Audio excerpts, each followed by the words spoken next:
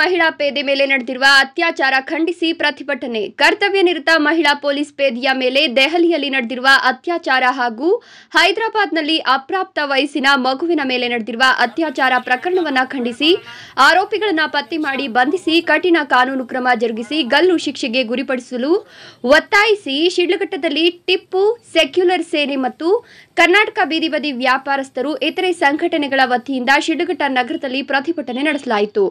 ದೇಶದ ರಾಜಧಾನಿ ದೆಹಲಿಯಲ್ಲಿ ಕರ್ತವ್ಯ ನಿರತ ಮಹಿಳಾ ಪೊಲೀಸ್ ಪೇದೆ, ಹೆಣ್ಣುಮಗಳ ಮೇಲೆ ಕಿಡಿಗೇಡಿಗಳು, ಹಲ್ಲೆ, ಅತ್ಯಾಚಾರ ಮತ್ತು ಹೈದರಾಬಾದ್ನಲ್ಲಿ ಆರು ವರ್ಷದ ಅಪ್ರಾಪ್ತ ವಯಸ್ಸಿನ ಹೆಣ್ಣು ಮಗುವಿನ ಮೇಲೆ ಕಿಡಿಗೇಡಿಗಳು ಅತ್ಯಾಚಾರವೆಸಗಿದ್ದು ಆ ಮಗು ಸಾವನ್ನಪ್ಪಿರುತ್ತದೆ. ಘಟನೆಯನ್ನ ಟಿಪ್ಪು ಸೆಕ್ಯೂರ್ ಸೇನೆ ಖಂಡಿ, ಆ ಮಗು ಸಾವನ್ನಪ್ಪಿರುತ್ತದೆ. ಘಟನೆಯನ್ನ ಟಿಪ್ಪು ಸೆಕ್ಯುಲರ್ ಸೇನೆ ಖಂಡಿಸಿದ್ದು, ಈ ಘಟನೆಯನ್ನ ಸಂಬಂಧಿಸಿದಂತೆ ದೇಶದಾದ್ಯಂತ ಅನೇಕ ಸಂಘ ಸಂಸ್ಥೆಗಳು ಪ್ರತಿಭಟನೆ ಮಾಡ್ತಿವೆ. ಹೆಣ್ಣು ಮಕ್ಕಳಿಗೆ ಹಾಗೂ ಅವರ ಕುಟುಂಬಕ್ಕೆ ನ್ಯಾಯಕ್ಕಾಗಿ ಹೋರಾಟ ಮಾಡ್ತಿದ್ದು. ಕರ್ನಾಟಕ ರಾಜ್ಯದಲ್ಲಿ ಈ ಹೋರಾಟದ ಕಿಚ್ಚು ಹೆಚ್ಚಾಗಿದ್ದು, ಈ ಘಟನೆಯನ್ನ ತೀವ್ರವಾಗಿ ದೇಶದಲ್ಲಿ ಎಂತಹ ಘಟನೆಗಳು ಮರುಕಳಿಸದಂತೆ ಕಾನೂನು ಸುವ್ಯವಸ್ಥೆ ಬಿಗಿಗೊಳಿಸಿ, ಕೃತ್ಯವೆಸಗಿರುವ ಆರೋಪಿಗಳನ್ನ ಪತ್ತೆ ಮಾಡಿ, ಬಂಧಿಸಿ, ಕಠಿಣ ಕಾನೂನು ಕ್ರಮ ಜರುಗಿಸಿ, ಆರೋಪಿಗಳನ್ನ ಗಲ್ಲು ಶಿಕ್ಷೆಗೆ ಗುರುಪಡಿಸಬೇಕು ಅಂತ ಒತ್ತಾಯಿಸಿ ಸರ್ಕಾರಕ್ಕೆ ಮನವಿಯನ್ನ ಸಲ್ಲಿಸಿದ್ರು.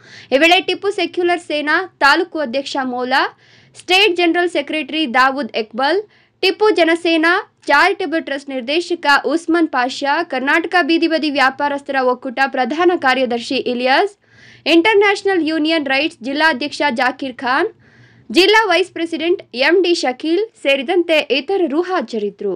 ಸಾರಿಗೆ ಒಂದು ಮನವಿ ಪತ್ರ ಕೊಡಕ್ಕೆ ಬಂದಿರೋದು. ಕಾರಣ ಏನಂದ್ರೆ, ಈ ರಾಬಿಯಾ ಮತ್ತು ಒಂದು ಹೈದರಾಬಾದ್ನಲ್ಲಿ ಆರು ವರ್ಷ ಹುಡುಗಿಗೆ ಬಲತ್ಕಾರ ಆಗಿದೆ ಚಿತ್ರ. ಬಲಾತ್ಕಾರ ಆಗಿರೋದ್ರಿಂದ ಅದಕ್ಕೋಸ್ಕರ ಏನಂದರೆ ನಾವೆಲ್ಲ ಏನಾದಿದ್ರೆ ಮಾನವ ಮೊದಲನೇದು. ಆದರೆ ಮಹಿಳೆಗಳಿಗೆ ನಾವು ಅವ್ರಿಗೆ ಮರ್ಯಾದೆ ಕೊಡಲೇಬೇಕು. ಯಾಕಂದರೆ ನಾವು ಹುಟ್ಟಿದ್ದು ತಾಯಿ. ತಾಯಿನಿಂದ ನಾವು ಹುಟ್ಟಿದ್ದು. ಅವ್ರಿಗೆ ನಾವು ಮರ್ಯಾದೆ ಕೊಟ್ಟಿಲ್ಲ ಅಂದರೆ ಬೇರೆ ಏನು ಅದರಲ್ಲಿ ಅರ್ಥನೇ ಇಲ್ಲ.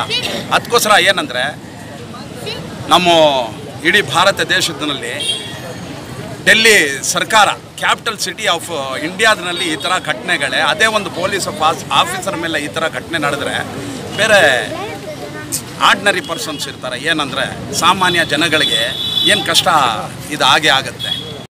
ಒಂದು ಮಹಿಳಾ ಹೋಗ್ಬೇಕಂದ್ರೆ ನಮ್ಮ ಕರ್ತವ್ಯ ಏನಂದರೆ ಇಲ್ಲಿ ಬರೋವರ ಎಲ್ಲ ಯುವಕರಿಂದ ಒಂದೇ ಒಂದು ನಾನು ಏನು, ಯಾರಾದರೂ ಇಲ್ಲಿ ಯಾವ ಧರ್ಮದರಿಲ್ಲಿ ತಾಯಿ ಅಂದರೆ ತಾಯಿಗೆ ಧರ್ಮ ಇಲ್ಲ. ನಮ್ಮದು ಕೆಲಸ ಏನಂದರೆ ಮೆಹಲ್ಲಾ.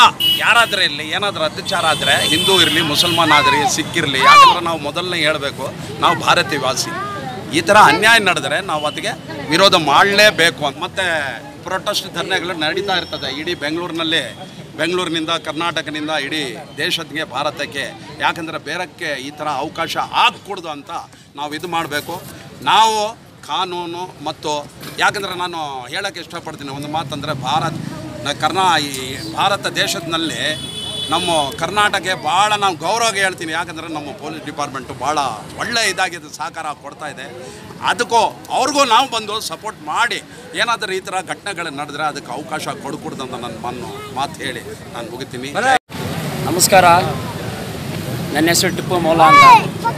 ಏನು ಇವತ್ತು ನಾವು ಈ ರಾಬಿ ಅವರ ಹೆಸರಲ್ಲಿ ಆಗಲಿ ಆಮೇಲೆ ನಮ್ಮ ಆರು ವರ್ಷದ ಮಗು ಚಿತ್ರ ಅಂತ ಹೈದ್ರಾಬಾದರಲ್ಲಿ ಬಲಾತ್ಕಾರ ಆಗಿದೆ. ಇವ್ರ ಮೇಲೆ ಅತ್ಯಾಚಾರ ನಡೆದಿದೆ ಕೊಲೆ ನಡೆದಿದೆ.